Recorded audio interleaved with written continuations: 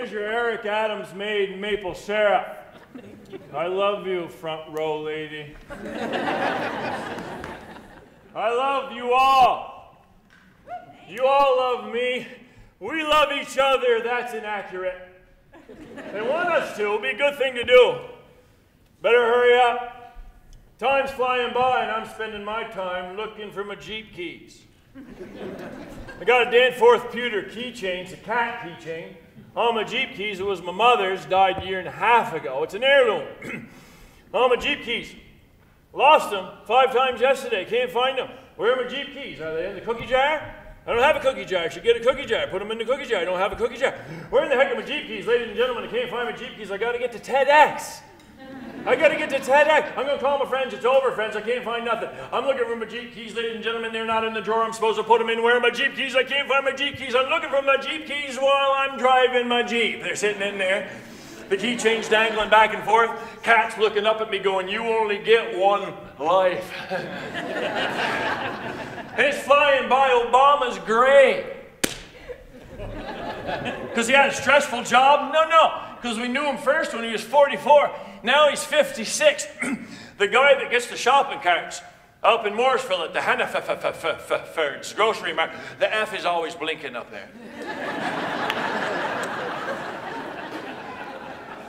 he was 44, Rob. Brown hair. He's 56 now, gray hair. Now, either getting shopping carts is as stressful as being president, or 44 to 56 are the peak graying years. Talk about change. Rob Apple is here. Rob Apple. Is it up to 600 million here? 700 million? 800 million? And this place that's going to screw out the village because everybody's going to stay up here? Oh, I don't like that. I love it. I love this place up here. I, I used to be 67, 1967. I'm sleeping in Stowe Hollow, dreaming about skiing up here dreaming more about the chocolate cake with vanilla icing.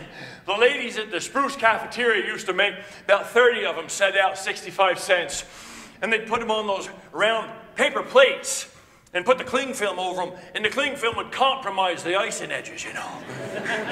and you get that cling film off, and you take that cling film, and there'd be three lines, a back, a side, in the middle of icing, and you take your plastic spoon and you'd go down, take that icing right off of there, and you'd put that icing in your mouth, and you'd take that icing off of that fork, and there'd still be some icing left in the back tines. You'd save that for the chair lift up, and you, you take that, you take that spoon, fork, and you cut that cake, and it would make a noise. It was so moist.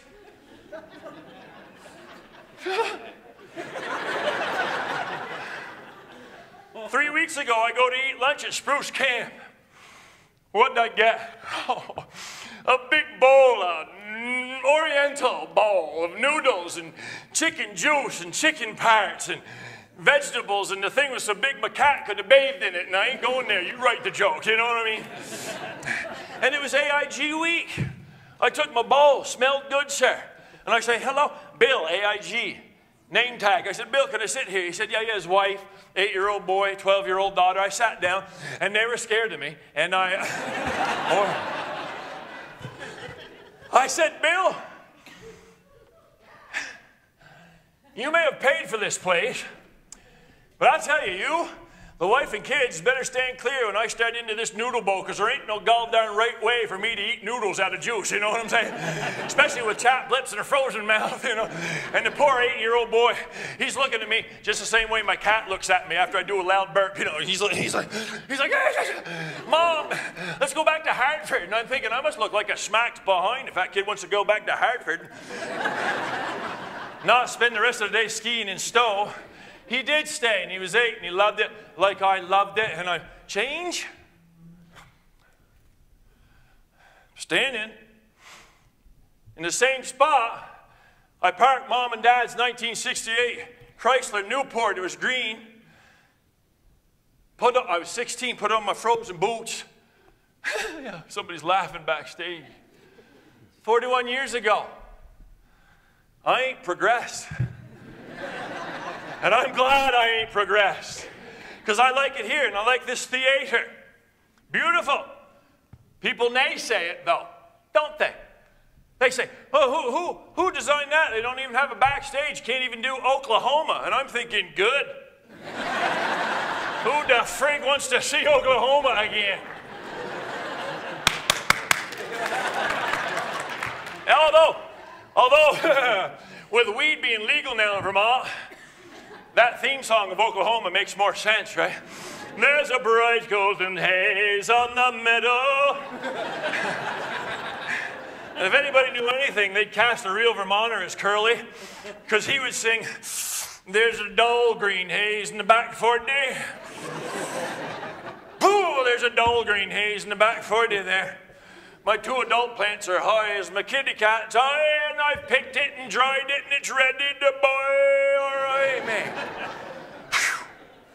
I always said legalize dope. I always said it. I didn't always say it, but when I said something about dope, that's what I said. Never smoked it. True. Never will, probably. I said, then they legalized it. Then I'm thinking, maybe not, cause I saw, you know, a lot of old time Stowe people here. I saw Annabelle on the street the other day, 90 she is. Looks great. The news is, right in front of the Stowe Town Hall. I said, hi Annabelle, how you doing? Pretty good, right? Oh, but my 95 year old husband Fritz ain't doing good, right? I said, no, Annabelle. She said, oh, yeah, right. 95 year old husband Fritz broke his hip and his femur, right? So I said, no, Annabelle. She said, oh, yeah, right. How'd he do that? Oh, well, right. He's up on ladder painting. Fritz, 95, broke his hip and his femur, right? I said, no, Annabelle. no, yeah, right. I said, how high was he? She said, not too high. He only had two bong hits. And then I thought, maybe. Maybe think twice about legalizing dope. I think it's a good thing, you know. Now the cops don't have to pretend they don't know you got a bag of weed in your pocket, you know what I mean? Talk about things not changing. Now, one door down, you got the plate restaurant. For you folks ain't been here a long time, used to be the funeral parlor. Very beautiful tradition. Uh, if I'm the door, there were two big lanterns on each side of the door that were always off until somebody died. True. True. Roderick Stafford, the funeral director, would put them on when someone died. It was a big deal. People wouldn't die for a month, month and a half. You come home at midnight after a gig, myself, and there the lights are on. Now, you know you're going to know who died. You go home, you get up early, go down to Mansfield Garage, where Maple Fields is now, and the boys be having their 5 o'clock tea, you know, but, but, but, but, you know, a little bit of tea they'd have. You'd ask them who died, and they'd tell you. I always thought, even as a kid, the lights are on because the lights went out. I like that tradition. Now Mark and Jamie seat me in that front window, and oh, I love it. Eating that stuff and looking at the main street I grew up at. And uh, funeral parlor, restaurant, change, same. People gather there. I don't order the liver at plate. Steer clear of the digits demi-glace, you know what I'm saying? But it's food to die for there, and I wrote all those jokes, and I ain't getting paid. Head right across to the, you, you know it as the Helen Day Arts Center. Beautiful to have art. And uh, the library, now, I, used, I went to high school there. Did you people know that? You folks know that? Yes. Up till 73, that was Old Yeller. It was yellow. We called it Old Yeller in the seventh grade, halfway through, and then around April, we all walked up to the new school back then. High school, library, the same. Still a place I don't ever want to go to and not read in. You know what I mean? you come out of the Helen Day Arts Center, and it's one of the most magnificent sights you'll see in your lives anywhere, is that Stowe Community Church. Behold it.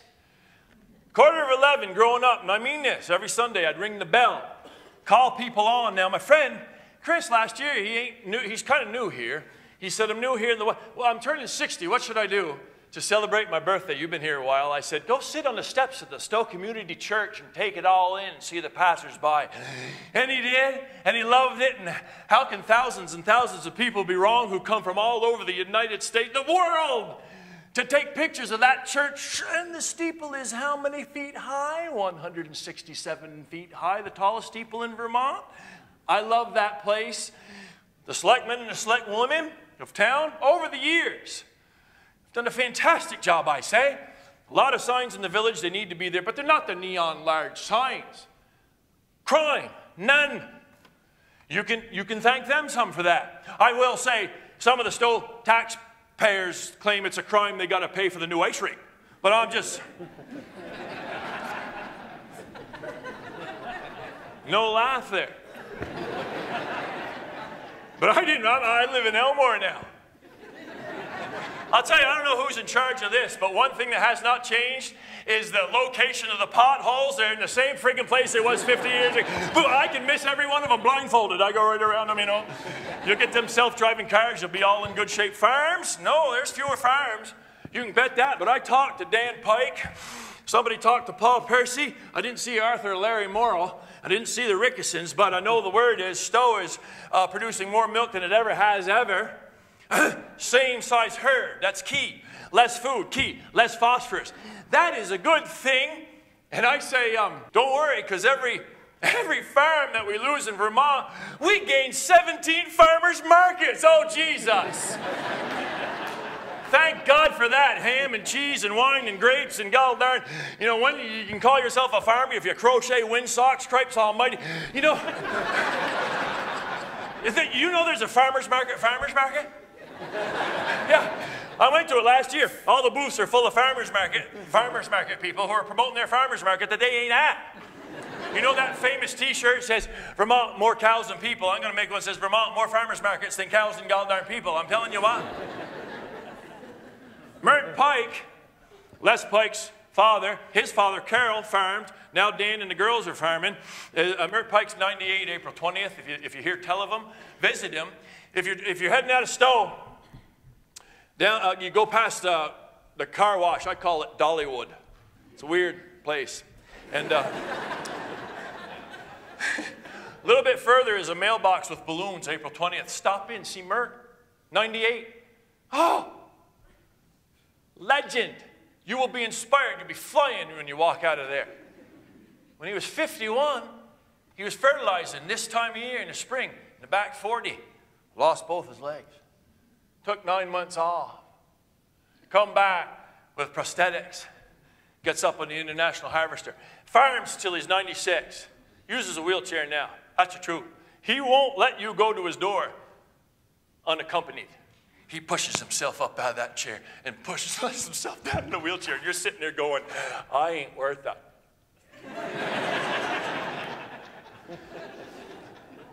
and then I was going uh, to dinner. Remember when it was cold? Wicked. Uh, this early winter. Early winter was cold. I had a date. I was going to dinner, and that's a, that was a change right there, having a date, you know. it didn't get any warmer later in the evening either, I. But I did. And uh, out comes Sonny and his wife and a, a, a, a, party. And they said, Hey, it's Sonny's birthday. He's an old Morrisville guy. I said, Sonny, happy birthday. And we're heading down this restaurant, and I was in the back. I said, Sonny, been cold. I said, Hey, I, I kind of like the cold, Sonny. I said, uh, Don't bother me. Does it bother you? Without skipping a second, he looked over his shoulder and he said, I don't like it, but it doesn't bother me. I said, well, I, said I, I come from a generation where when you don't like something, you're bothered. well, we're bothered when we like stuff. I mean, we're freaks, you know, anyway. The Sonny DeMarses, the, the Mert Pikes, these are people that I bow down. I stand in deference to, and I say, if you would please, take time and stand yourselves or sit yourself on the steps of the Stowe Community Church sometime and it, it, it, it bears standing and sitting. And not, not, don't all go there at the same time, you know. People be driving through town, look at all the up there, and they go, hey, a farmer's market. And, they'll be, and uh, stand there, and I say, when I hear people say, oh, did you hear about old Joe? He died, but now he's in a better place. I think, where did he, where did he live?